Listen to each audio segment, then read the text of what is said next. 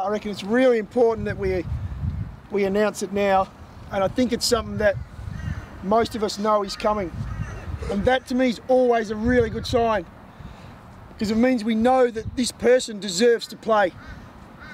So it gives me great pleasure to announce that Shano is going to play this week.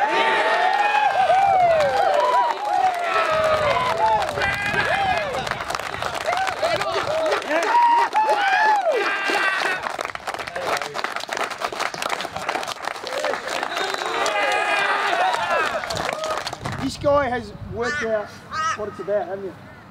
I think so. You think so? All right, getting in the water with sharks is not an easy feat, but it's taken his game to the next level. So, but fantastic, mate. Couldn't be more proud of what you've done, and all your teammates will be the same. So, really well done. All right? Done. Well, uh,